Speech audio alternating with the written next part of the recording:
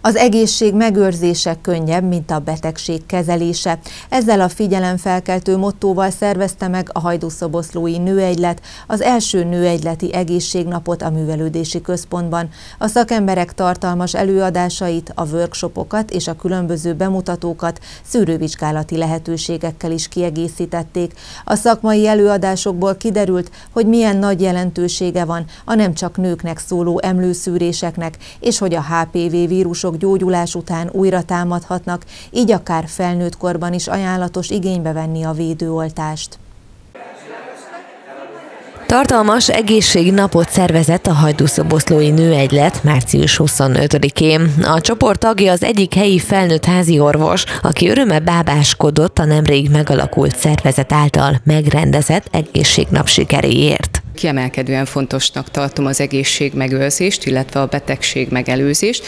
Ezért gondoltam azt, hogy nőegyleti tagként szerveznünk kellene egy egészségnapot, amin döntően szűrővizsgálatokat, illetve szűréssel kapcsolatos előadásokat tartunk meg. Előadások lesznek a mai nap folyamán emlőszűréssel, ményakrákkal kapcsolatban, diétákkal kapcsolatban, kifejezetten a PCO-s diétáról lesz szó, illetve egy picit a természetgyógyászat irányába elmenve lesz egy gyógynövényekkel a női egészségért temat, előadásunk is. Ezen kívül workshopokat szerveztünk párhuzamosan az előadásokkal, amiben meg, pszichológus fog tartani egy speciális csoportfoglalkozást, gáttornával fogunk foglalkozni, szűrővizsgálatokat a házi orvos kollégák segítségével tartunk az emeleten, területen jelenleg, illetve joga foglalkozás is van a relaxáció jegyében. Ezen kívül standokat állítottunk ki, döntően természetgyógyászati alapú készítmények, illetve azokkal foglalkozó cégek jelentek itt most meg, bemutatni az alternatív gyógyítási irányokat is. Fókuszban a női egészség, fogalmazott az orvos, tehát a 30 és 75 év közötti korosztályt várták a szervezők erre az ingyenesen látogatható egészségnapi rendezvényre, melynek programját természetesen a hölgyeknek állították össze. Én azt gondolom, hogy mindegyik előadás fontos, azért is válogattuk így, igyekeztünk így összeválogatni, tehát a női egészség szempontjából ugye az emlő, a nőgyógyászati területek, illetve azoknak akár a természetes, természetgyógyászati megközelítése szintén fontos lehet. A diéta, dietetikus előadását pedig azért tartottam igazán fontosnak, mert nagyon sok hölgy jelentkezik manapság inzulinrezisztenciával, illetve PCO-val, és kifejezetten komoly kérdés szokott nagyon gyakran gyakran lenni, hogy milyen diétát, milyen életmódot kellene folytatnia ahhoz, hogy ezzel a problémával sikeresen tudjon akár diétázni, akár csak a súlyát megőrizni.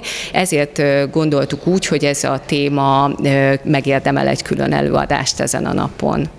Az emlőrák népegészségügyi probléma. A betegség időben felfedezve jól kezelhető és gyógyítható. Főként a nők a veszélyeztetettek, de a férfiak körében is előfordul. A komor magyarországi statisztikák oka, hogy sokan még az ingyenes szűrővizsgálatokat sem veszik igénybe.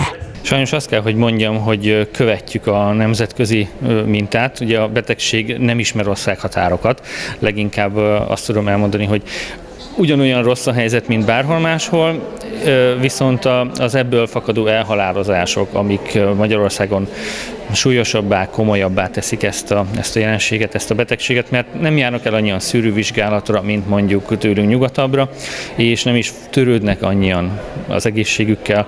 Nálunk az egészségtudatosság inkább az, amin, amin ez az egész múlik azok az esetszámok, amik nálunk itt Debrecenben megjelennek, nem festenek túl jó képet, hiszen, hiszen mindig lehetne javítani a számokon.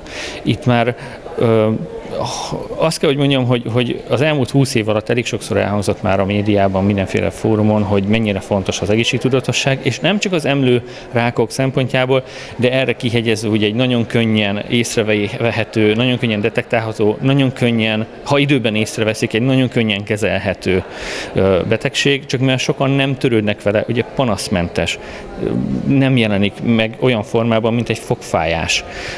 Általában, amikor panaszt okoz, már késő van. nem tudjuk magunknak diagnosztizálni, mert nincs otthon mindenkinél mammográfiás gép, sőt, ugye senkinél. Ezért fontos az, hogy, hogy, hogy akár már 30 éves kortól évente járjanak el egy szűrővizsgálatra. Ez egy egyszerű mammográfiás röntgenvizsgálat, és nem kell félni a sugárterheléstől sem, mert lágysugár és nagyon minimális sugárzással jár csak. A betegség ellen a szakember szerint egészséges életmóddal is tehetünk. Az idősebb korosztálynak fontosak az esti séták, mindenki számára lényeges a zöldség és gyümölcsdús étkezés. Apró lépések, hogy egészségesebbek legyünk. Van azonban olyan kórokozó, amely alattomos és az életet is veszélyeztetheti, viszont létezik védőoltás ellene. A HPV az a humán papillóma vírusnak a rövidítése, ez nem egyetlen egy vírust jelent, hanem egy több száz tagból álló víruscsaládot, amely számos betegséget, mind jó és sajnos szoszíndulatú betegséget is képes okozni. A HPV az a bőrünkön él, így bárki megfertőződhet vele. A leggyakoribb jóindulatú elváltozás, amit ismerünk a HPV-vel összefüggésben, ez a kis szemölcs, amivel mindannyian találkoztunk, és a legnagyobb jelentősége a HPV-nek a rosszindulatú betegségekben pedig a ményakrák közül, között van. Rosszindulatú betegséget nem csak a ményakrákot képes okozni, hanem a végbélnyílás, szájüregvi daganatok, hímvesszőrákja is összefüggésben áll a HPV fertőzéssel, ezért is választ választottam az előadás címének azt, hogy HPV-ről mindenkinek, hiszen nem is csak a nőket, hanem a férfiakat is érinti. Hogyan tudnak az emberek odafigyelni arra, hogy ilyen fertőzés érhette őket, előfordulhat a tünetmentesség, illetve ha megtörtént a baj, akkor hogyan kezelhető? A HPV fertőzés nagyon könnyen terjed, és sajnos nagyon sokszor lappang, tehát nem ad tüneteket, és így is fertőz az egyén. Ezért nagyon nehéz dolgunk van a HPV elleni küzdelemben. Tud betegségeket okozni, szemölcsöket, rossz indulatú betegségeket. Ha ezek már kialakultak, akkor a betegség kezelése áll előttünk. De szerencsére van egy fegyverünk a HPV ellen, nem sok vírus ellen van ilyen fegyverünk, mégpedig a védőoltás az, amit hogyha beadunk, akkor a HPV-vel szemben védetté válunk, így nem fogunk megfertőződni, így nem fog a HPV által okozott betegség kialakulni. Magyarországon a nemzetközi oltóprogramban a 12 éves fiúk és lányok oltása térítésmentes. A leghatékonyabb az immunizáció a fiatalabb korban, mivel ekkor még valószínűleg nem találkozott a szervezet a HPV rossz indulatú típusaival. Az oltás beadatása azonban nem csak a fiatalok számára megfontolandó. Aki ugyanis beteg lesz, de meggyógyul, újra fertőződhet. A HPV-vel, ha megfertőződünk, a szervezetünk legyőzheti, az esetek 80%-ában legyőzi, de visszafertőződhetünk, mert sajnos nem alakul ki olyan immunválasz, mint például a mumszal vagy a kanyaróval szemben, ahol egyszer átesünk rajta és többet nem kapjuk el. Tehát itt, itt újra megfertőzhetünk, fertőződhetünk, ugyanattól a partnertől, új partnertől elkaphatjuk a HPV-t, ezért eh, van nagyon fontos jelentősége a HPV elleni oltásnak, mert az hosszan tartó védettséget ad a HPV-vel szemben.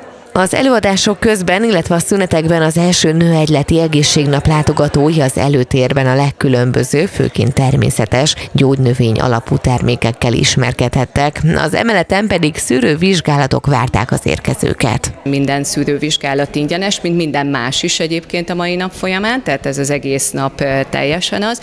Szűrővizsgálata is tulajdonképpen minden korosztályt várunk, de nyilvánvalóan egy 40-45 év feletti korosztályt tudunk jobban meg megtalálni ezekkel. Bokakarindex mérés történik, DEXA vizsgálat történik, vérnyomás, vércukormérés is természetesen, illetve egy biorezonanciás vizsgálóval tevékenykedik az egyik kolléganőnk. Volt, aki egy-két alkalmi szűrést végeztetett el, de sokan éltek valamennyi helyszíni lehetőséggel, hogy így is ellenőriztessék egészségi állapotukat. Érszükület, vércukor, biorezonancia és csontsűrűség. Na, ez a négy vizsgálatom voltam. Mosolygó arcot látok, elégedett, hogy az eredményekkel? Igen, apró kis eltérések vannak, de koromnak megfelelő. Úgy. Fontosnak tartott, hogy ilyen egészségnapok legyenek hagyószoboszlón? Nagyon, tehát mikor régen voltak, akkor is elmentem Igen, mert nem vagyok egy orvoshoz járó, általában nem voltam sokszor beteg, de így, hogy alkalomattán gyorsan megnézettem, mert nem kellett várni. A DEXÁT, azaz a csontsűrűség mérését is sokan választották. Ez a hordozható készülék és a hozzátartozó számítógépes program figyelemfelkető adatokat nyújthat. Honnan tetszett hallani erről az egészségnapról, a szűrési lehetőségekről? Barátnőmtől hallottam, és, és láttam a Facebookon is a hirdetést, és ismerősök vagyok, tehát követem ezt az, ezt az egy, nőegyletet, és nagyon örülök, hogy ez megalakult, és ilyeneket szerveznek. Miért tartja fontosnak az ilyen szűrővizsgálati lehetőségeket? Hát mindenképpen a betegségek megelőzésére is, de konkrétan most én azért is jöttem, mert a mert eltört a, a kulcscsontom, és még soha nem volt törésem, és most nagyon örültem, hogy itt ide el tudok jönni, és meg tudom gyorsan csináltatni. Más vizsgálatokon vagy előadásokon részt veszel? Igen, menni fogok még más vizsgálatra is, és akkor előadásra is megyek. Most a 11 órás terveztem meg, Faragó Panikát szeretném meghallgatni. Táplálkozási tanácsokat ad, és az nekem nagyon fontos. A vizsgálat egyszerű és mindössze néhány percig tart. Ha eltérés mutatkozik, akkor célszerű beutalót kérni Debrecenbe. Ott található jelenleg a gerinc állapotát is vizsgáló eszköz. Tudni kell a nőknél, a gerincben kezdődik a csontritkolás, tehát ha már itt a karban is van, akkor a gerincben valószínűleg sokkal súlyosabb az elváltozás, úgyhogy egyébként én szoktam ajánlani a betegeimnek, hogy ahogy bekövetkezik a menopauza, utána egy-két éven belül mindenképpen menjenek el egy csontsűrűségvizsgálatra, és akkor van egy alap, amihez tudunk majd hasonlítani, hogy milyen lesz a következő években. Menopauza után érdemes azért mindenképpen kálciumot szedni, D-vitamint szedni, hogy a meglévő csontot azt meg, megóvjuk. A mozgás nagyon fontos, és tudni kell, a csontitkolás ellen nem jó az úszás, mert hogy az a jó, hogyha terheljük a, a csontjainkat, és nem jó a biciklizés sem. Tehát a súlyzózás, torna, gyorséta, futás, aki bír. Tehát ezek használnak. A Boka Kar Index mérését is lehetett kérni. Ez a vizsgálat is néhány percig tart és jelzi is a berendezés az eredményt. Jó érzés, jó eredményekről értesülni alsó végtagi érszűkületnek a valószínűségét mérjük, hogyha van komolyabb eltérés, azt ez a készülék kimutatja, és akkor további szakorvosi vizsgálatra lehet szükség. Elsősorban azoknak ajánlott az idősebb életkorúaknak, akiknek cukorbetegségük van, régóta dohányoznak, mert olyankor nagy mértékben megnő az alsó végtagi érszűkületnek a veszélye. A vércukor vizsgálat egy apró szúrás az újba. Csőke Kati házi orvosi asszisztens körzeti ápoló a kis mérő készüléken rövid időn belül megmutatja az adott pillanatban érvényes vércukorszintet. Ezt a vizsgálatot is sokan választották az egészségnapra érkezők közül. Én a Facebookon olvastam ennek ezt a rendezvényt, és ott regisztráltam dr. Hasányi Juditnak az előadására, arra jöttem, és akkor közben mondom, akkor megnézem, hogy milyen lehető, vagy milyen lehetőségek vannak még itt a egészségmegőrzéssel kapcsolatosan. Még van egy kis időm, és akkor itt is végigjárom ezeket a dolgokat, hogyha már egy ilyen ingyenes lehetőség van, és Fontosnak tartja a szűrővizsgálatokat? Persze, nagyon fontosnak, és el is járok mindig ezekre a vizsgálatokra. Karban tartom magam, járok gyógykezelésekre, tehát én mindig igénybe veszem ezeket a lehetőségeket, és figyelek rá, hogy rendben legyen körülöttem az egészségem körül minden.